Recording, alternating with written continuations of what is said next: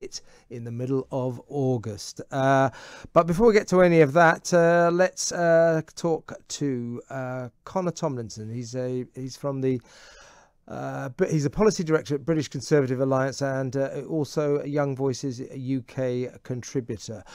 good evening, Connor. Evening, Kevin. Thank you very much for having me. Uh, now, I, have been talking tonight. The theme of tonight really is uh, yes, of course, we're all in a massively celebratory mood because oh my god england have made it to a major tournament final for the first time since 1966 and of course we're celebrating the football. But i think you'll agree there's something else going on as well. The nation is celebrating coming out of lockdown. It is almost aggressively regardless of what the doomsayers of sage and the government say we are aggressively taking back our freedom. Uh, you're not going to lock us down anymore. Uh, there's something going on, isn't there? Yeah, I don't think there's much more of a British symbol than the people that were climbing on top of the bus the other night. Um, I wrote a piece about this earlier in the week, and that is essentially that obviously, as all the talk radio talking heads have been saying for quite a while, this doesn't end until we say it does. And we've essentially got to lead the politicians by the nose with a bit of British sentiment in keeping calm, carrying on, and just getting on with the lives that we were supposedly working so hard to save this whole time um, it's funny as well that the politicians themselves, we're, our behaviour is finally catching up with what they've been doing for ages because they were walking around the G7 without any of the mask social distancing, arm in arm, etc. Yeah. And then now you see them at the, uh, the sports game. Same with the media class. You've got Piers Morgan the other other week saying no, the restrictions are, are reckless to be lifted, similar to Keir Starmer. And then he's got he's got a photo of his arm around his mate and his mask off at the uh, at the game the other day. So we, we're we're essentially playing catch up to their to their hypocrisy. But it's nice to see everyone sort of banding together and, and getting on with things again, really having a good time. Yeah, I was uh, talking about this last night. This kind of weird a parallel universe we seem to be living in. You know, Keir Starmer saying, "Oh, it's so reckless. We're coming out too early." Sage warning us we may have to carry on with restrictions until next spring. There'll be more waves. Oh God, we're still in the coronavirus crisis. And then the you sky look, is falling. Yeah, and then and then you look at Wembley uh, on Wednesday night, and you look at the fan parks up and down the country, and the pubs and the restaurants where everyone was watching the game and jumping all all over each other, not a mask in sight, no social distancing. So there's the kind of world, uh, the, the weird universe of Keir Starmer and the gang, and what the people of Britain are doing. We are living in parallel universes, aren't we?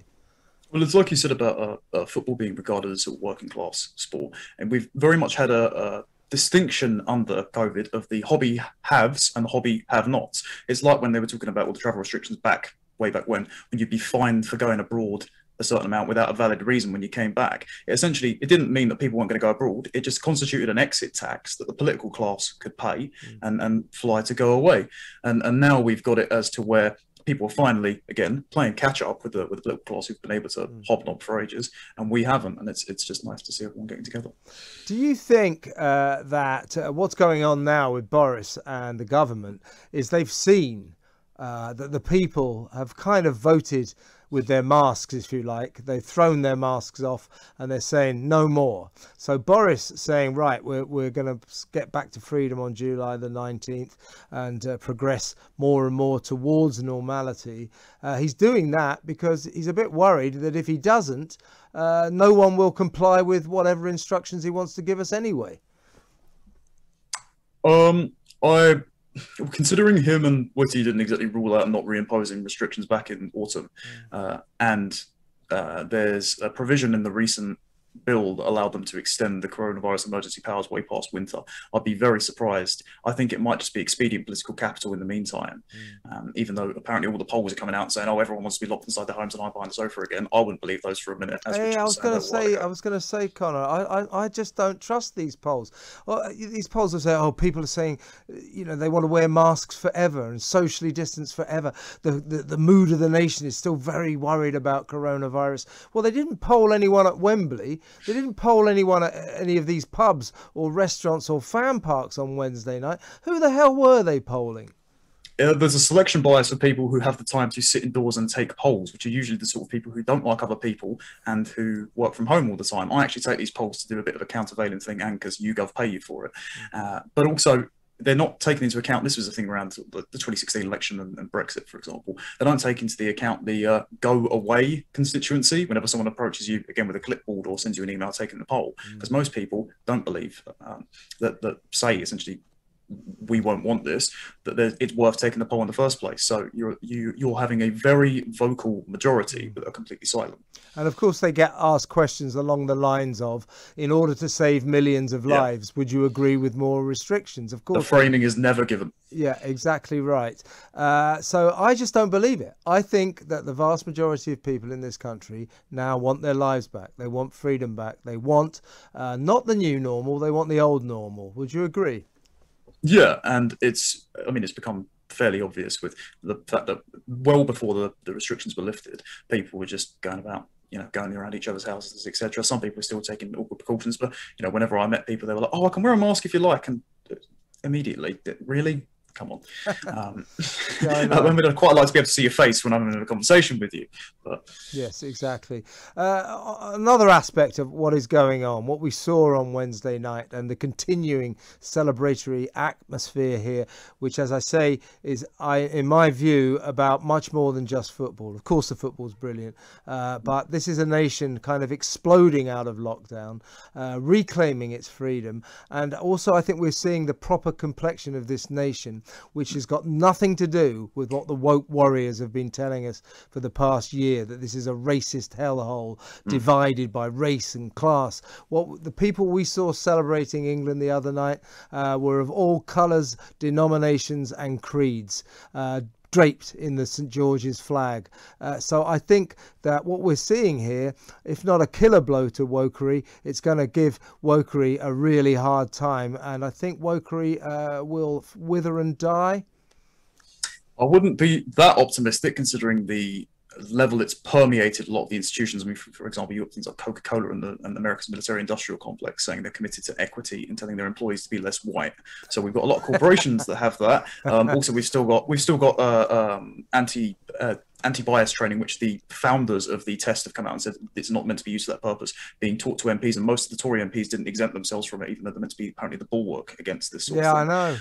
Um, but it, that sort of discourse has played out in the whole taking the knee thing, and also people exempting to the uh, Pride Month armband. Mm. And it's essentially people turning around and saying, even though it's been characterised by everyone from Keir Starmer to Gary Lineker to Gareth Southgate himself as racist, anti-patriotic, and criticising the black players, mm. people boo the taking of the knee because of what it stands for. It's either a, a gesture of subservience because most people only ever kneel to your wife, your God, and uh, and uh, the Queen, for example. Mm-hmm. Um, it's either a gesture of subservience to an organisation which has said we are trained organisers, we are trained Marxists, and are responsible for four billion dollars in property damage last year in the US, or it's to say we, the very well-paid, educated, uh, morally righteous uh, sports stars need to lecture to the poor oppressed class that you need to have our solidarity in order to get through life. So it's either a, a show of uh, uh, political allegiance, or it's essentially white supremacy of the guilty conscience. And the fans have gone, no, sod off. And you can tell it's specifically that. And they're saying the propriety of the gesture because they don't boo players when they make the sign of the cross when they run on the pitch, and they immediately clap all of the players when they score a goal. So it's got nothing to do with race, for example. It's all to do with merit. I'm glad you brought that up because uh, my line on it is, uh, you know,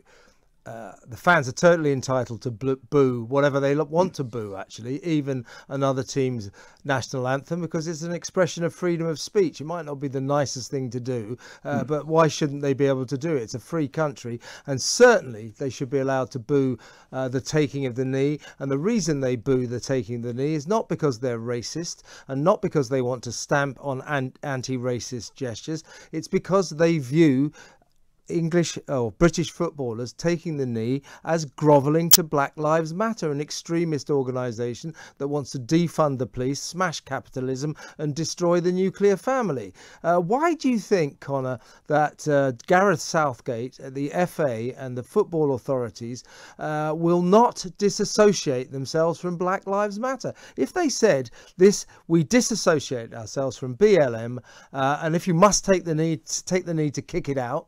Uh, problem solved. But they won't do it. Why do you think they won't do that? well, it's, it's funny that you said take the knee to kick it out. I remember a time where there was a campaign called Stand Up for Racism. So it, it seems we're just going to be doing a pogo stick for against racism very soon. Yeah. Um, but I think it's because BLM employs semantic overload essentially. So they take a non-objectionable statement, which is of course Black Lives Matter, all lives matter, each individual life yeah, matters, yeah, and then uses that as a as a Trojan horse for um, again Marxism, and that's why I'm I'm sorry I was listening to the show from the start. Richard is absolutely wrong to say it's okay to be a communist because if you go back and read the text of Marx and Engels, they explicitly say we want violent, bloody revolution to kill our political uh, opposition, and that's why every single time Marxism has been implemented in countries around the world, it's ended in genocide, and it won't work. Um, I think they won't denounce it, the FA and uh, Gareth Southgate, is because they're possessed with the idea that it is inclusive and they've got a low resolution perception of what the symbol stands for.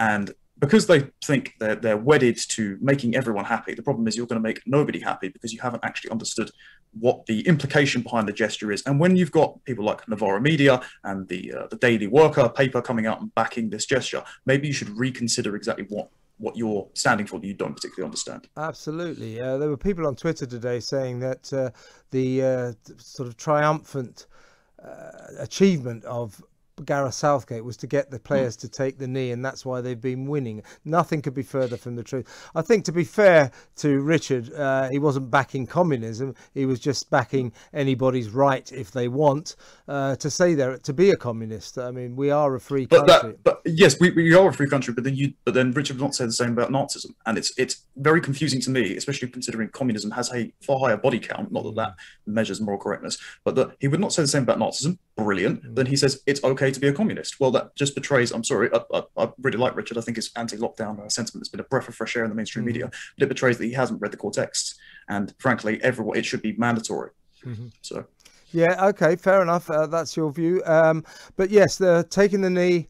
Uh, wait, you wait, Connor. Uh, the thing about taking the knee was it prospered when football was incubated from fans. It was happening on pitches where there were no crowds. Uh, when the new season starts, you wait you wait. There may be trouble ahead. There's going to be a lot of booing, uh, and I'll be there, and I'll be booing as well. Uh, and but don't forget, some fans were banned from their clubs. They even tried to criminally charge them for that. That is an expression of freedom of speech, and uh, uh they must be allowed to boo whatever the hell they want to boo. Uh, great talking, Connor. Uh, please come on again. Connor Tomlinson there. He's a policy director at the British Conservative Alliance, and for the Young Voices UK, he's a Young Voices UK contributor. I'm Kevin O'Sullivan, and this is Talk Radio. Online, on DAB, and on the Talk Radio app. Talk Radio.